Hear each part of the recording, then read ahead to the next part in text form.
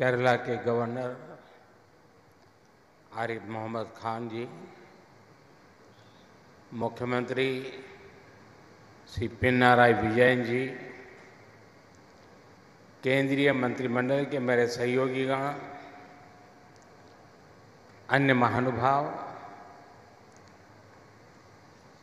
देवी और सज्जनों, मैं पहले धन्यवाद देता हूँ। श्रीमान सर्वानंद सोनोवाल जी की टीम, श्रीमान श्रीपद यशो नाइक जी और हमारे साथी श्रीमान वी मुरलीधरन जी, श्रीमान शांतनु ठाकुर जी, एला करालियर कुम एंडे, नन्ना नमस्कारम।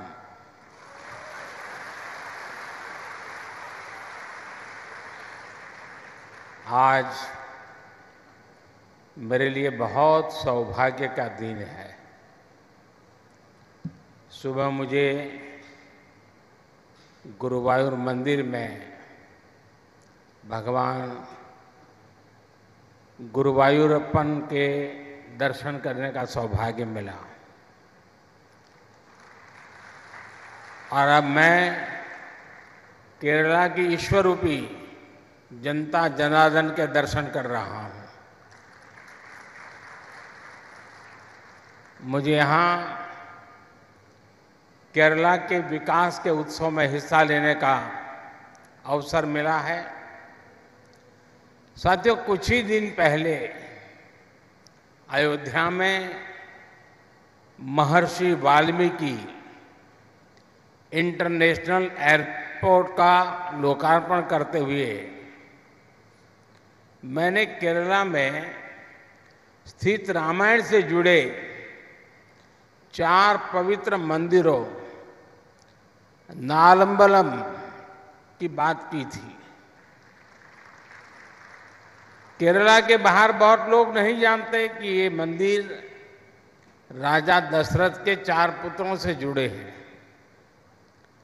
ये सौभाग्य की बात है कि अयोध्या में राम मंदिर की प्राण प्रतिष्ठा से पह, कुछ दिन पहले ही मुझे त्रिप्रायर के श्री रामस्वामी मंदिर के दर्शन करने का अवसर मिला। महाकवि एड़ुचंद रचित मलयालम रामायण के कुछ छंद सुनना अपने आप में अद्भुत है। केरला के कई महत्वपूर्ण कलाकारों ने भी अपनी भव्य प्रस्तुतियाँ से मन मोह लिया। केरला वासियों ने वहाँ कला संस्कृति और अध्यात्म का वा, ऐसा वातावरण बना दिया जैसे पूरा केरला ही अवधपुरी है। साथियों, आज़ादी के अमृतकाल में भारत को विकसित राष्ट्र बनाने में देश के हर राज्य की अपनी भूमिका है। भारत जब समृद्ध था, जब ग्लोबल जीडीपी में हमारी भागीदारी बहुत बड़ी थी, तब हमारी ताकत हमारे पोर्ट से, हमारे पोर्ट सिटीज़ थे आज जब भारत फिर से ग्लोबल ट्रेड का एक बड़ा केंद्र बन रहा है, तब हम फिर से अपनी समुद्र शक्ति को बढ़ाने में जुटे हैं। इसके लिए केंद्र सरकार समुद्र किनारे बसे कोच्चि जैसे शहरों का सामर्थ्य और बढ़ाने में जुटी है।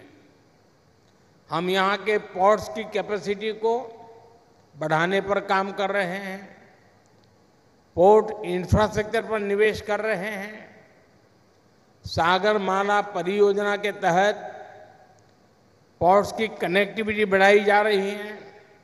साथियों आज यहाँ देश को अपना सबसे बड़ा ड्राई डॉक मिला है। इसके अलावा आज शिप बिल्डिंग, शिप रिपेयरिंग और एलपीजी इंपोर्ट टर्मिनल इंफ्रास्ट्रक्चर का भी लोकार्पण हुआ है। ये सुविधाएँ केरला और भारत के इस दक्षिणी क्षेत्र के विकास को गति देंगी। Made in India, aircraft carrier, INS Vikrant के निर्माण का ऐतिहासिक गौरव कोच्चि शिपयार्ड के पास है। इन नई सुविधाओं से शिपयार्ड की कैपेसिटी कई गुना बढ़ जाएगी। मैं केरला के निवासियों को इन सुविधाओं के लिए बधाई देता हूँ। साथियों, पोर्ट, शिपिंग और इनलैंड वाटरवेज के सेक्टर में ईज ऑफ़ डूइंग बिज़नेस बढ़ाने के लिए पिछले दस वर्षों में केंद्र सरकार द्वारा अनेक रिफॉर्म्स किए गए हैं। इससे पोर्ट्स में अधिक इन्वेस्टमेंट आया है और ज़्यादा एम्प्लॉयमेंट जनरेट हुआ है।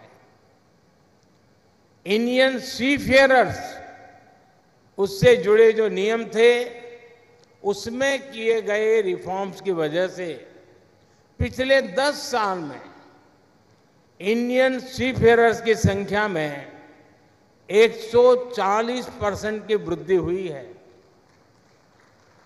देश के भीतर वाटरवे के उपयोग से अब पैसेंजर और कार्गो ट्रांसपोर्ट में नई तेज़ी आई है। साथियों, जब सबका प्रयास होता है तो परिणाम और बेहतर मिलते हैं। बीते दस वर्षों में हमारे पोर्ट्स ने डबल डिजिट एनुअल ग्रोथ हासिल की है। दस वर्ष पहले तक हमारे पोर्ट्स पर शिप्स को लंबा इंतज़ार करना पड़ता था। उनको अनलोड करने में बहुत टाइम लगता था। अब स्थितियाँ पूरी तरह बदल चुकी है। आज Bharat ship turn around time में दुनिया के कई विकसित देशों से भी आगे निकल चुका है। साथियों, आज दुनिया भी ग्लोबल ट्रेड में भारत की भूमिका समझ रही है। जी ट्वेंटी समिट के दौरान भारत ने middle east, Europe economic corridor के जी प्रस्ताव पर सहमति बनी। वो इसी भावना का प्रमाण है। ये कॉरिडोर विकसित भारत के निर्माण को बहुत बल देगा। इससे हमारी कोस्टल इकोनॉमी को बड़ी ताकत मिलेगी।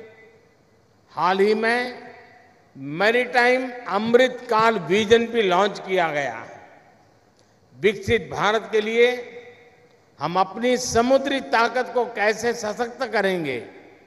इसमें इस लक्ष्य का रोड मैप है। भारत को दुनिया की एक बड़ी मैरीटाइम पावर बनाने के लिए हम मेगा पोर्ट्स शिप बिल्डिंग और शिप रिपेयर क्लस्टर जैसे इंफ्रास्ट्रक्चर बनाने पर ज़ोर दे रहे हैं।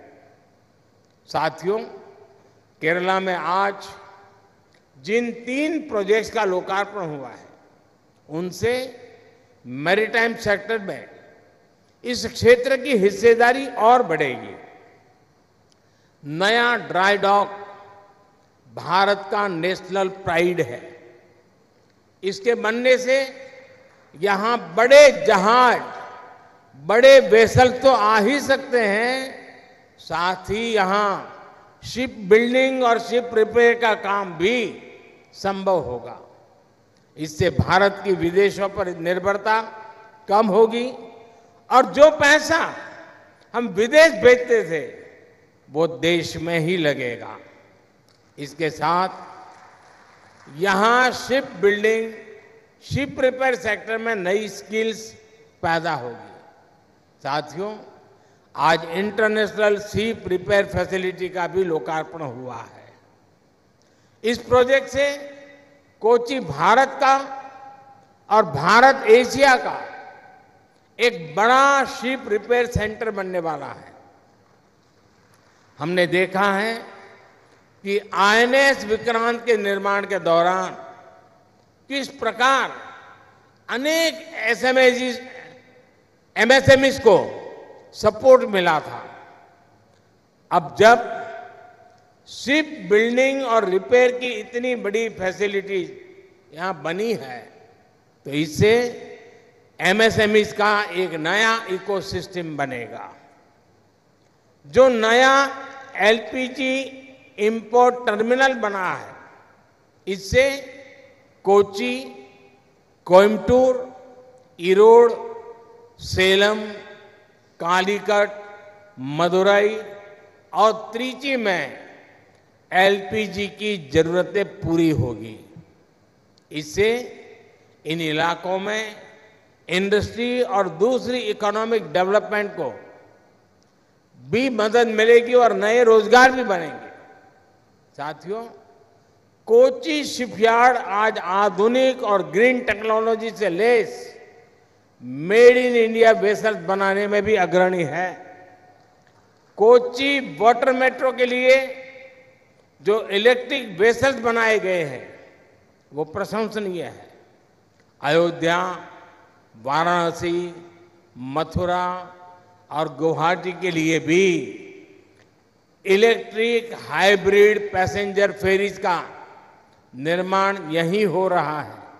यानी देश के शहरों में आधुनिक और ग्रीन वाटर कनेक्टिविटी में कोची शिपयार्ड की भूमिका अहम है।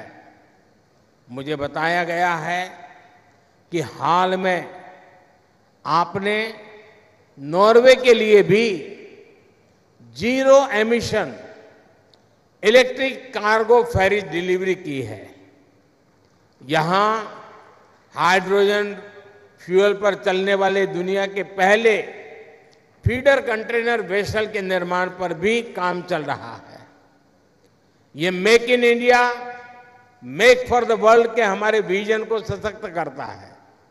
भारत को हाइड्रोजन फ्यूल आधारित ट्रांसपोर्ट की तरफ़ ले जाने का जो हमारा मिशन है, उसको कोची शिपयार्ड और सशक्त कर रहा है।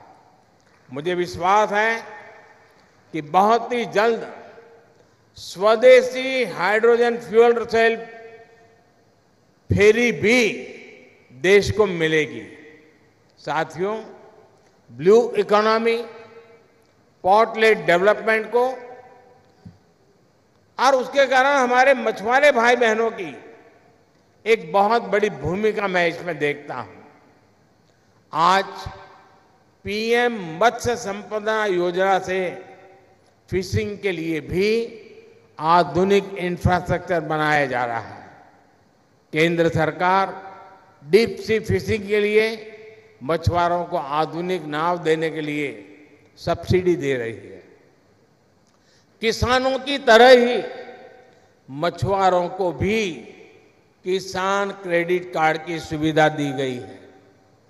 ऐसे प्रयासों की वजह से बीते दस वर्षों में मछली उत्पादन और एक्सपोर्ट दोनों में कई गुना बढ़ोतरी हुई। है आज केंद्र सरकार सी फ़ूड प्रोसेसिंग में भारत की हिस्सेदारी को और बढ़ाने का प्रयास कर रही है। इससे भविष्य में हमारे मछुआरे साथियों की आय भी बहुत बड़ी वृद्धि होगी। उनका जीवन और आसान होगा। केरला का निरंतर तेज विकास हो, इसी कामना के साथ नए प्रोजेक्ट की मैं फिर से एक बार आप सबको बहुत बहुत बधाई देता हूँ।